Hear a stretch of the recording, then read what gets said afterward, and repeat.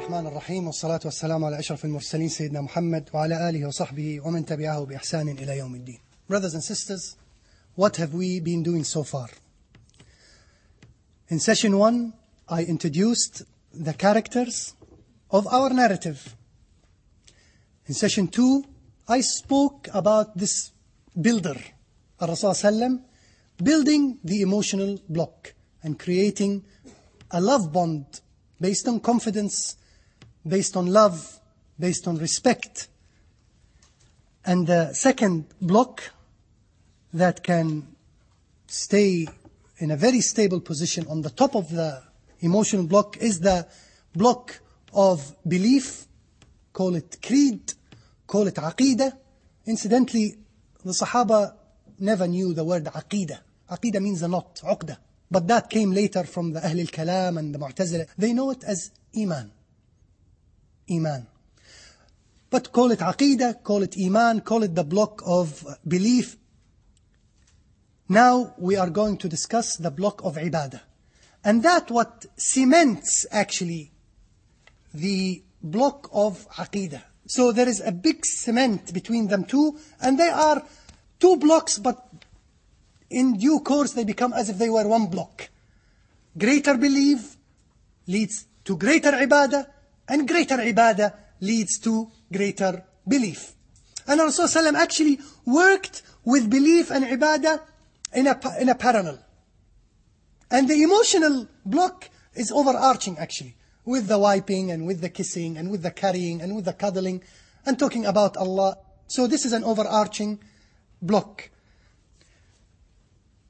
Three points to bear in mind when we are talking about ibadah and children. Number one, children are not required to do ibadah if they are below the age of puberty. So what are we doing during that period? We are doing one thing, training. All sorts of training. The ibadah here is training them order them to pray at the age of seven and beat them at the age of ten. So from seven to ten, you are training them. Imagine someone prays five times a day from the age of seven, or someone who, who is being reminded to pray every day, five times a day for three years. You multiply, and you see how much reminding you have been. So, training, number one. Number two, everything is on your side. It's not a battle between you and your child. Come, pray, fast. No, everything on your side. Number one, the psychological worry is not there because he's not required to pray. He's not required to fast.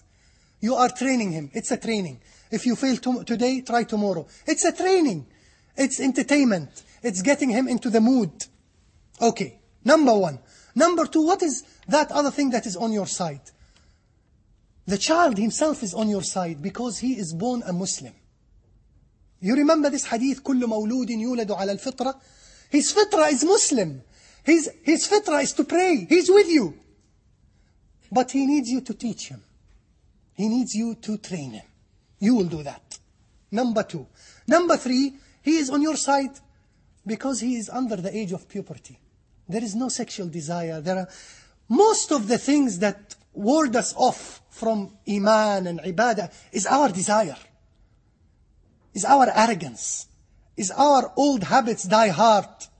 He doesn't have habits. He doesn't have desires.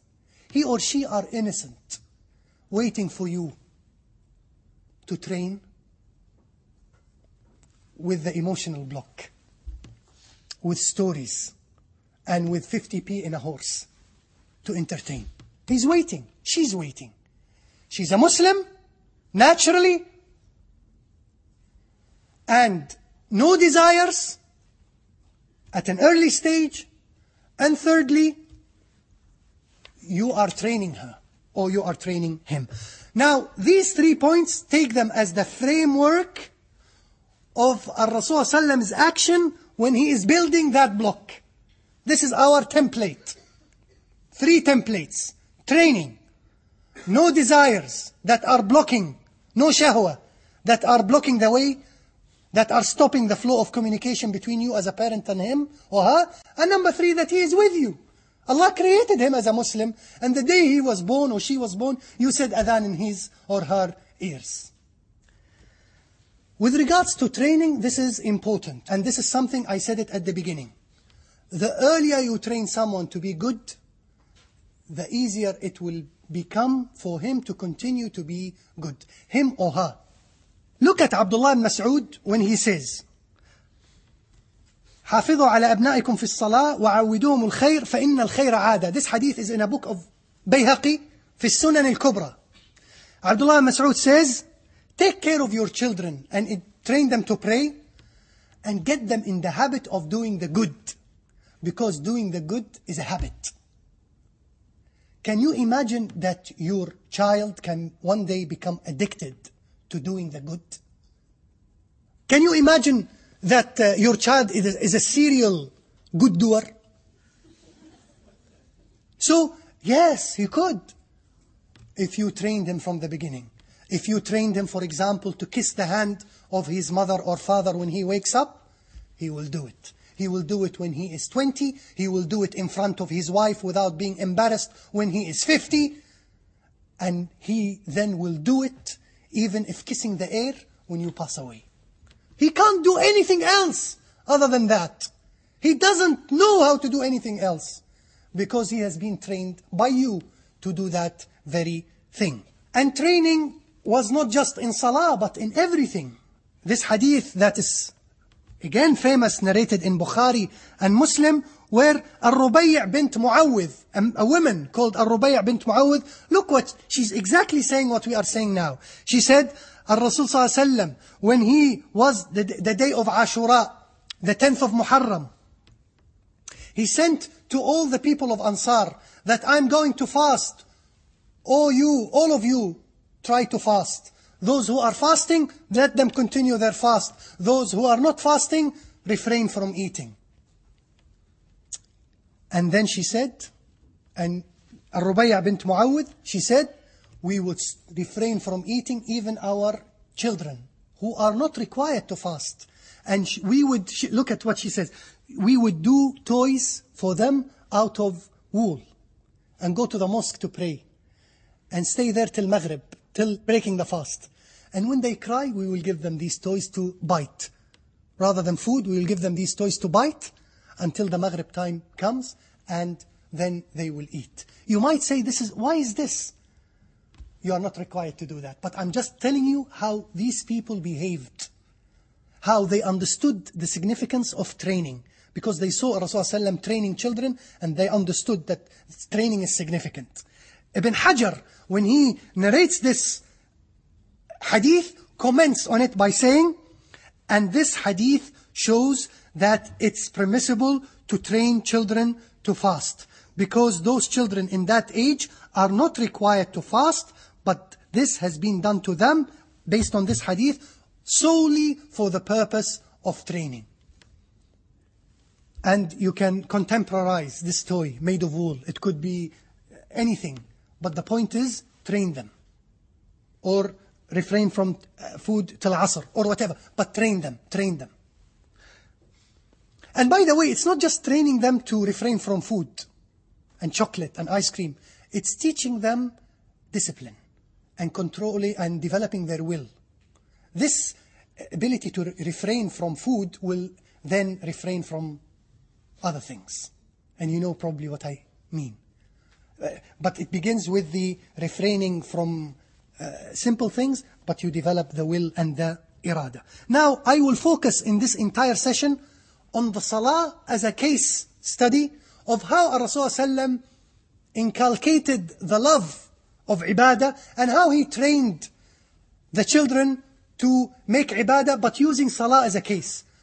I could have used uh, fasting, etc. But these are seasonal. Zakah, they are not required. Hajj, yes, there are incidents where children went to Hajj. But Salah as a daily, as a daily thing, as an, and as a, an immediate concern for all of, most of the, if not all of the parents. And I realized from reading a lot of the hadith that Rasulullah was doing three things. One of three things. To make the children love the Salah. One, is that he was creating positive associations between the child and the action. So there is always something nice when doing that action. You remember the negative association, long-term memory, positive association? He was creating positive associations. These are my titles. These are my, you can divide them. You can say you are wrong. This is a wrong interpretation. I have a new interpretation. Fine. But at least we are all mujtahids. I'm trying to, just to simplify things. I could have thrown this hadith on you without titles and confused you. But I'm trying to organize them in a way that are, makes them more, more accessible. Number two, he used to reward when the action is being done. Bear in mind, he's training now. He's training. So come, uh, come, uh, come with me to the masjid and I'll give you a sweet.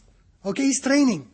But before he's doing that, he's creating one, positive association. Number two, he's rewarding. Number three, he is making the child feel as if he is taking part, a central part in the action it, itself, that without him the action will become invaluable. Giving the child a form of a responsibility to make him love that thing because he is responsible for that thing.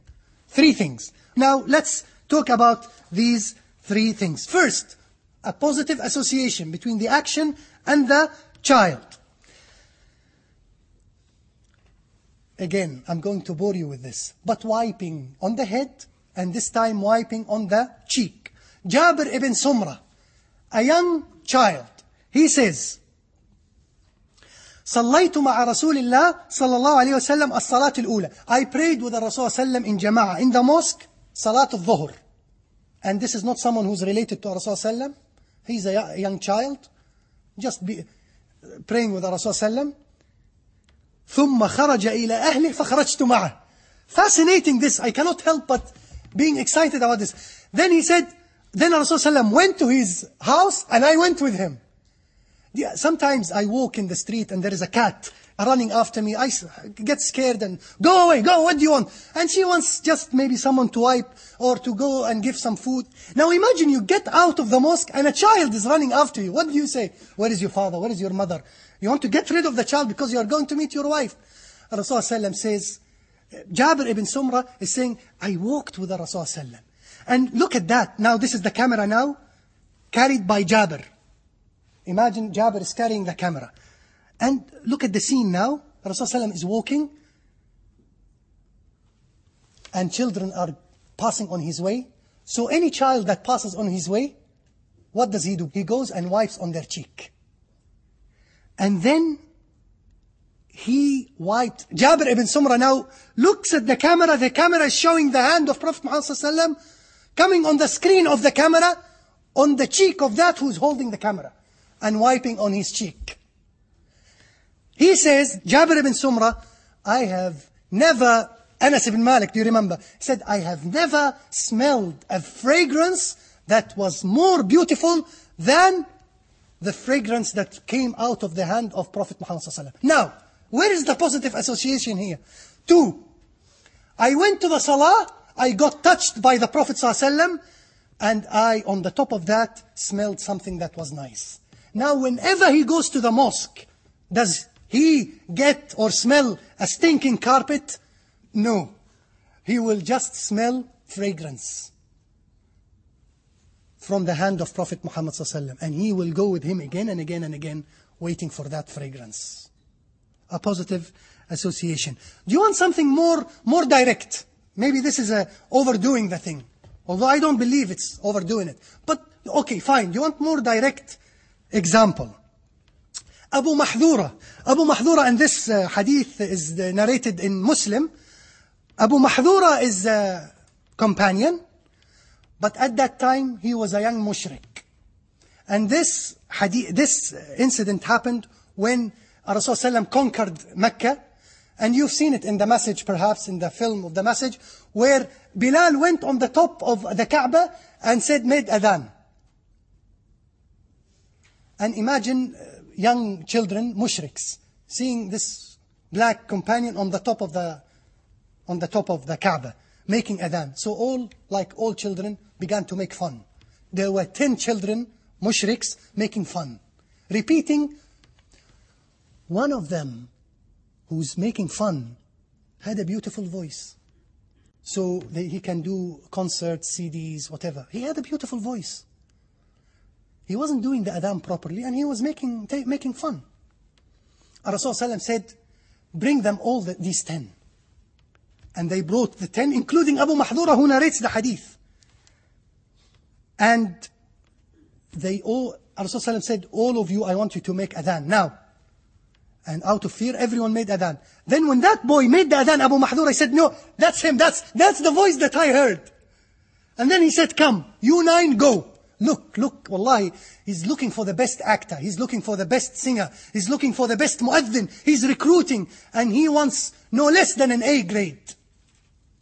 He wants no less than an A grade. I'm sure that among these nine there were people with nice voices, but he wants the best voice. Abu Mahdura says, nothing was more hated to me than this man who conquered Mecca. But then Al-Rasul sallam, and again, the body language here. And you will see it, by the way, the hand is playing a tremendous role. And then he puts his hand on my forehead. And I don't know what, I personally don't know what happens.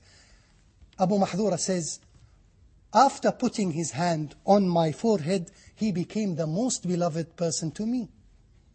Is it the silk? Is it the softness? Is it the tenderness? Is it the fragrance? Or is it merely the prophethood?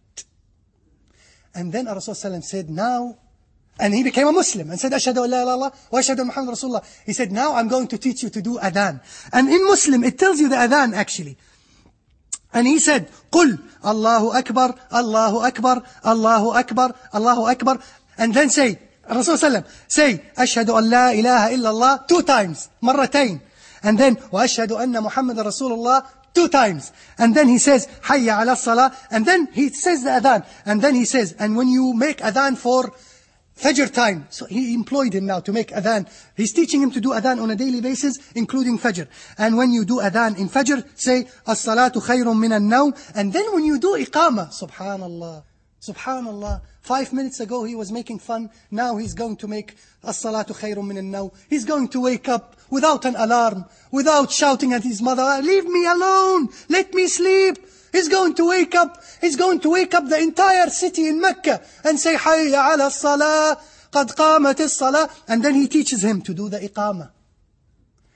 What is fascinating in this hadith is that Abu Mahdura says, I never cut my hair. Never. I don't know, I cannot, maybe during his time, he, he had a very long hair. He never cut his hair that was touching his forehead because he said, because it was touched by Rasul Sallallahu Now, look at this learning of adhan, which is a form of ibadah that is associated with a touch. So, the point, the point, Brother Hesham, you bore us to death. The point is, when you teach your children ibadah, to train them, try to give them a positive association.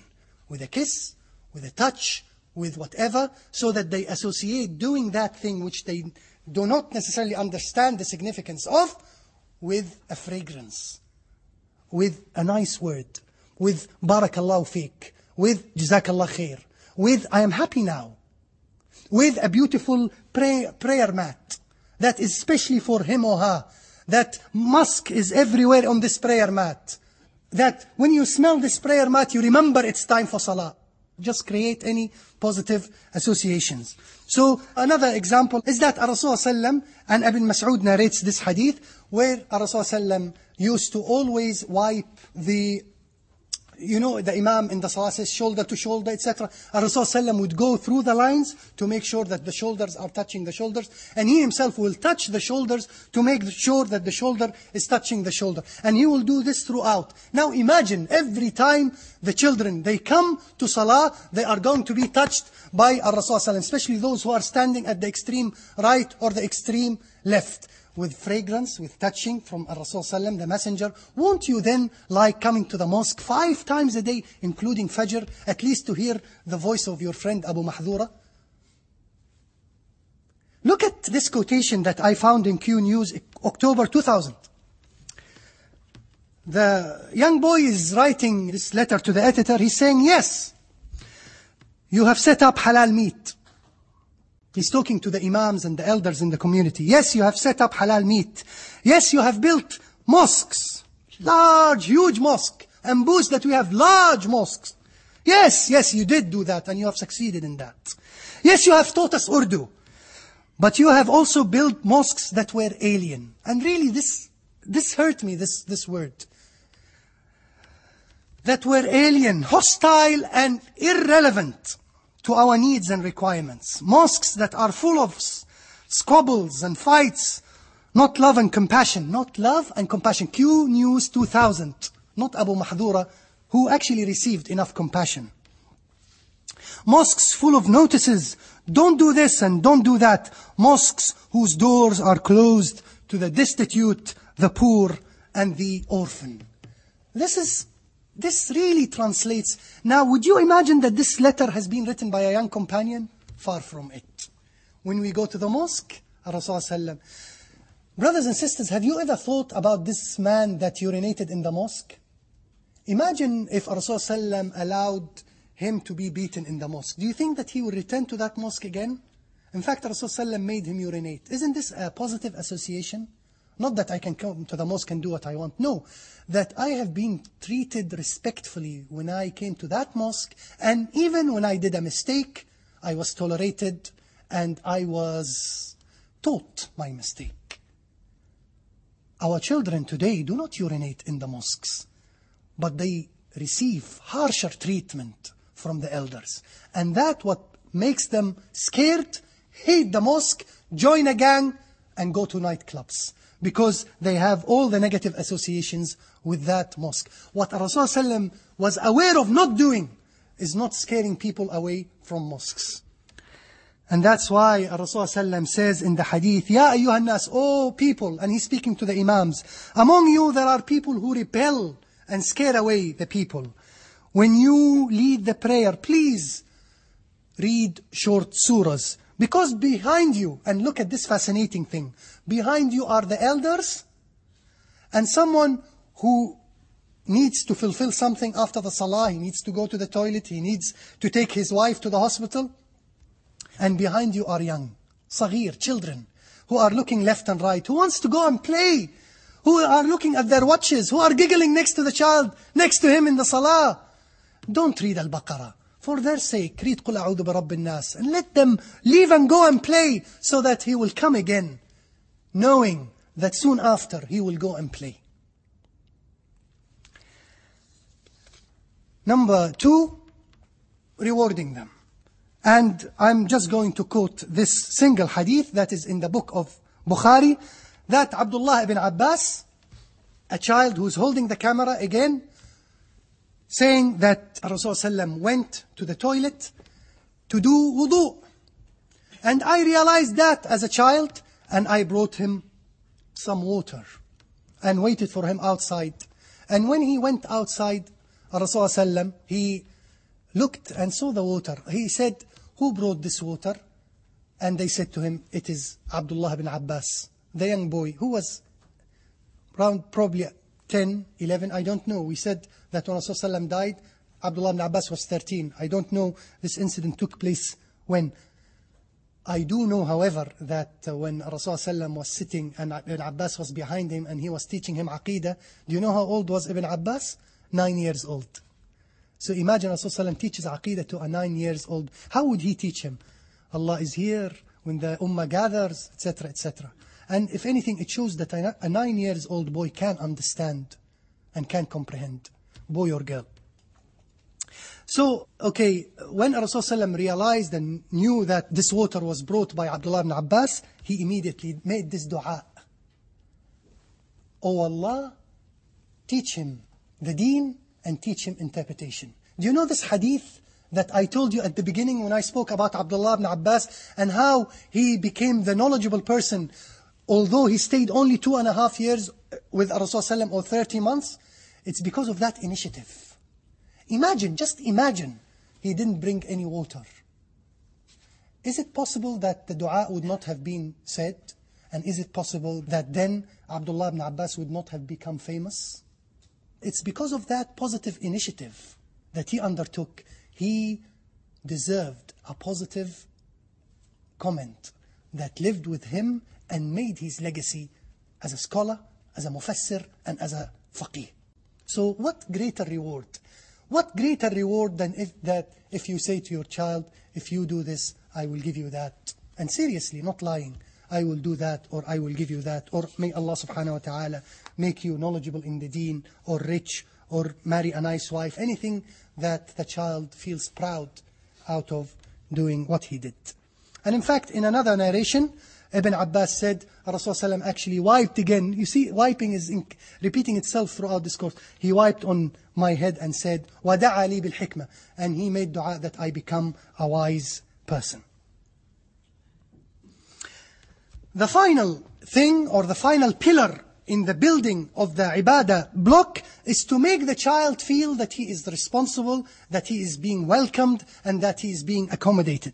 And again, uh, a hadith that we come across a lot that is narrated uh, in the book of Bukhari. Again, Abdullah ibn Abbas, he said, I spent the night one day in the house of my maternal aunt, uh, who was Maimuna, who was the wife of Rasul So he spent the night in the house of Rasul and he went to sleep. And then Rasul woke up in the night and he asked Maimuna, did he sleep? Did, the, did Abdullah sleep? She said, yes, he went to bed.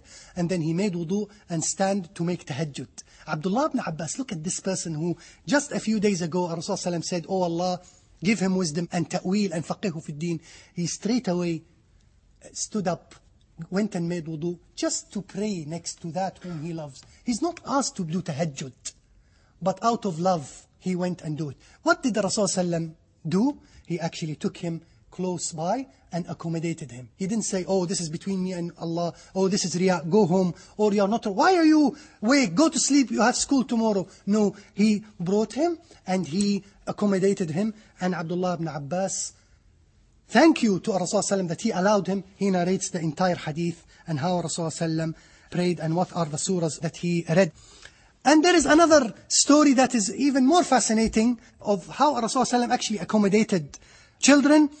The story of Amr ibn Salama. Amr ibn Salama is someone that lived away at the outskirts of Medina. He never uh, interacted with Rasulullah. He said, I was living with my tribe and people that were in Medina, that used to travel, we used to ask them, they were Muslims, we used to ask them, what did Rasulullah teach you today? And they used to uh, tell them, Rasulullah today, he read surah this, and surah this was revealed today.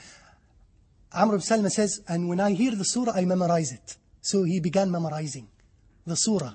Not from the mouth of Prophet Muhammad but then he says, I memorized lots of the Quran based on what I hear of those passpiers, travelers. And then I learned how to pray from those passpiers again. Isn't this fascinating? That you learn the Quran and then you learn how to pray? It shows how those people were connected to the book of Allah before even they began to pray. Okay, what is special about this hadith? The tribe of that boy one day went to Rasulullah in Medina. And they said, Ya Rasulullah, now we know how to pray. We want you to instruct us to pray in Jama'ah. He said, okay, pray in Jama'ah. Who is going to lead us, Ya Rasulullah? He said, the one who knows the Quran most. And the leader of the tribe, he's about 60, 70, he doesn't know the Quran most. They went to Amr ibn Salama. Amr, how many do you know? Oh, I know many, many, many verses. And imagine, brothers and sisters, for the first time in a tribal society, like we had a girl being carried by the hand of the Prophet Muhammad in a patriarchal society where women and girls were looked at as a source of embarrassment and buried. In a tribal society where seniority and age is a source of legitimacy, for the first time we see a leader, a new leader, not based on his tribal legacy, but on his ability and the number of verses of Quran that he memorizes, Amr ibn Salama was only seven when he was appointed as the Imam for his entire tribe. And a funny story that you might uh, laugh at, his trousers was extremely short, that when he, he bends, some of his private parts at the back appear. One of the women said, please, please, cover, cover the backside of your Imam. So he says, they brought me a longer trousers. Wallahi. Look at this positive association. Brothers and sisters. Said, Wallahi, this trousers is very valuable to me. Why? Because this is your uniform as an imam. Who made you imam? My Quran through Ar-Rasul Sallam. We had problems, again, my daughter, encouraging our daughter to pray with us. And one day, my wife tailored a hijab, small hijab for her especially. She said, this hijab, I tailored it for you. And we brought Hadil and she watched the sewing machine moving and she was, what is this? She said, this is your hijab that you will wear whenever we join the salah. She was extremely happy, like Amr ibn Salama, extremely happy with his trousers. And whenever we would pray, she would wear the hijab. Now she throws the hijab away and she doesn't pray anyway. But you create moments of excitement. Maybe because she was not appointed as an imam, I don't know. But you create moments of excitement. And let it last for a week or two because again you are training. Again you are creating positive associations. You are creating enjoyable memories. You are doing your utmost to make them love ibadah. And inshallah when they grow up, they will love it because by then it's a habit. أقول قولي هذا وأستغفر الله لي ولكم فاستغفروه إنه هو الغفور